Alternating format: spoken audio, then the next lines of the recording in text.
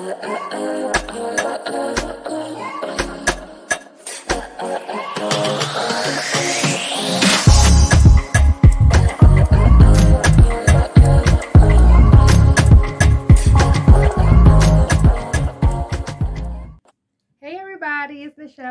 with Bearth Uhura. Here at Bearth Uhura, I am a full spectrum plant-based holistic doula and an advocate for all things safe, natural, and effective. Here on this channel, we discuss all things pregnancy, birth, and womb health related. So if you like the content and you'd love to hear what's on the channel, please be sure to subscribe. So um, for all of my um, subscribers already, I know I haven't um, put up a video in a little bit. Um, so as we all should, I took a little time to recalibrate, um, to do some fasting, some cleansing, both physically and mentally.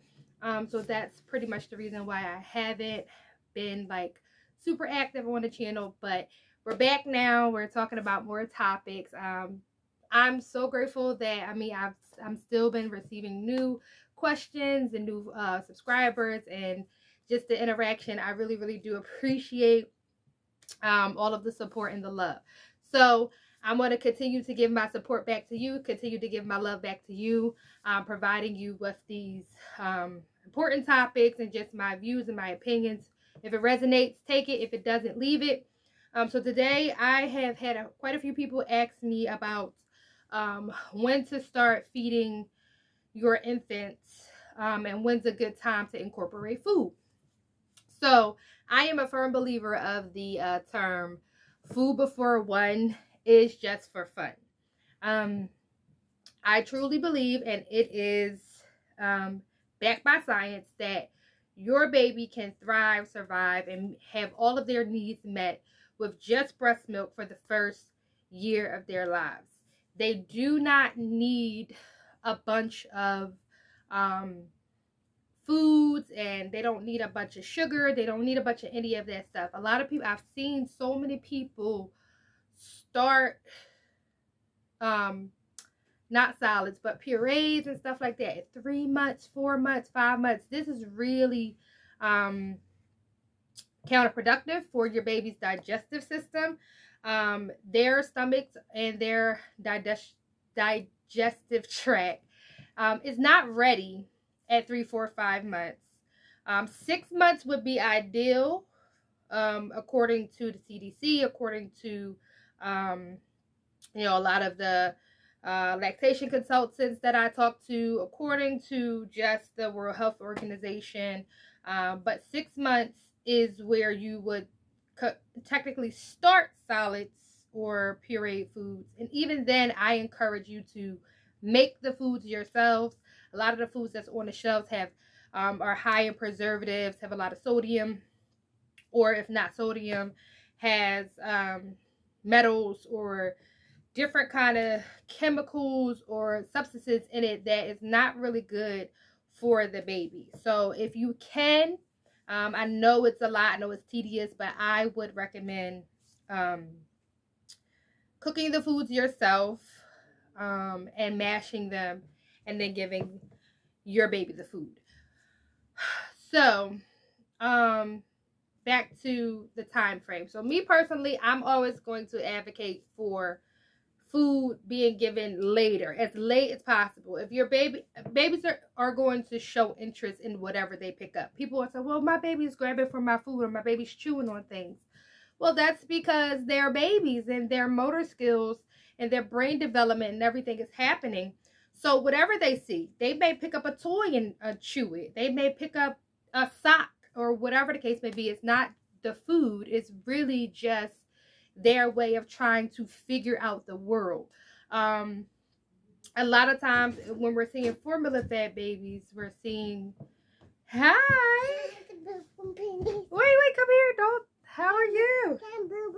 Wait, wait a minute. Wait, mommy's on camera. Say hi. Say hi to everybody. Hi to everybody. okay, wait, wait. So, all right. Well, many of you know I do still feed my three-year-old Tyler. She just turned three. Um, she's a good, solid 32 or so pounds. Um, and she is still nursed.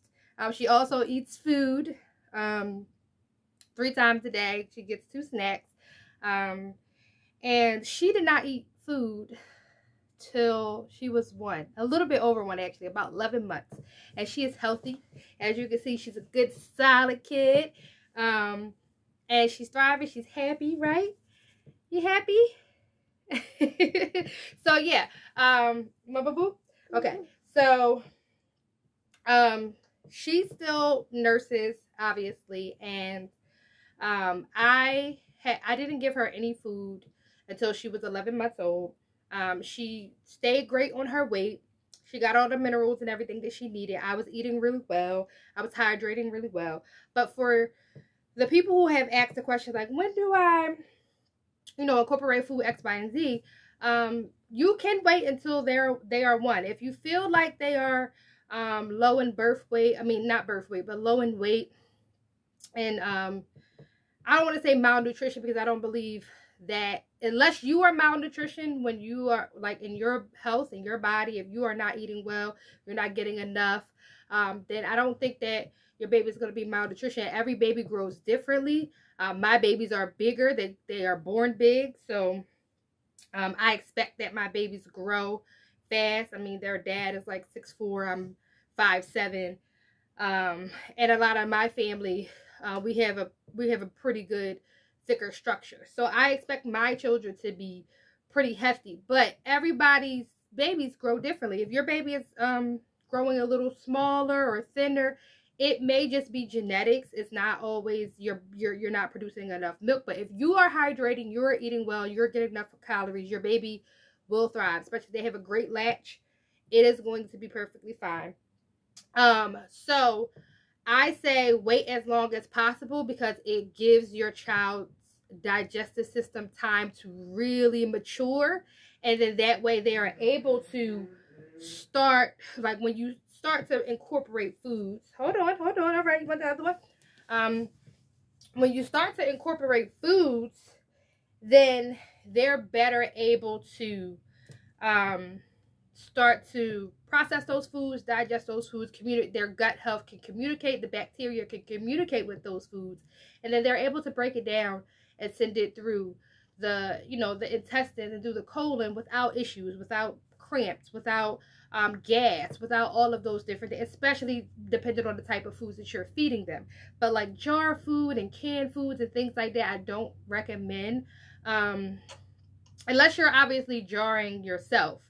But other than that i think that you know fresh whole foods is great but you can wait. Your baby doesn't need any food until they are one years old. If you want to start, I really encourage six months and beyond, um, even closer to eight months because, you know, it has been shown that the digestive system is really not ready. Um, and this information can be found on the internet or wherever um, um, in certain um, courses, breastfeeding courses, different things like that that we take. We do find that the longer we're waiting, the better um, our children are able to process um, the foods that we're giving them. Um, and I would say start with um, veg start with non-sweet, not vegetables, because things like cucumbers and anything that grows on a vine with seeds is a fruit. So we think things like cucumbers and tomatoes and stuff like that are vegetables, but they're actually fruits. Um, but start with things that are not sweet so that they get the palate to eat those foods that um, don't give them that sugar craving. Fruit should be later. Um, grain should be after fruit. So I say go non-sweet fruit, um, grains, things like that. If you're a person who's going to eat meat, I say go last with that. Uh, we're plant-based here in this community. Um, but I do understand that everybody's lifestyle and everybody's eating habits are different. So if you're going to incorporate um, different types of meat, I would say do that last. Um, and yeah, that's pretty much my take on when to incorporate foods and how to incorporate. But uh, once they start, they really don't get teeth until they start chewing. Um, my daughter, she didn't get teeth until she was about, I'm going to say her first real set of teeth was about eight months. And that was because she never ate food. Once she started eating food, she has a mouthful of teeth. Now, but once she started eating and chewing and gnawing on things, then she really got those teeth. But she was never teething at three months or four months of five. We didn't go through any of that um, stuff. We never went through fevers, anything like that. Her teeth just came in and she started to eat the foods that we provided for her. Um, so yeah, that's pretty much my take on how to feed the baby, how to incorporate foods, when to incorporate the foods. Um, if you have any um, suggestions or any like things to make it easier, because I know I've seen like machines that actually puree the food for you, like baby foods and stuff like that. So if you have any tips that someone else can benefit from, please do drop them in the comments. If you have any additional questions, you can always reach out to us at berthiehoover at gmail.com. Uh, we have changed the email. It is B-E-A-R-T-H dot uhura, U-H-U-R-A at gmail.com. Um, and you can always reach with me on my other platforms as far as Instagram, Facebook. Um, and yeah, so thank you so much um, for tuning in with us. And I will see you guys for the next video. Peace and pregnancy done.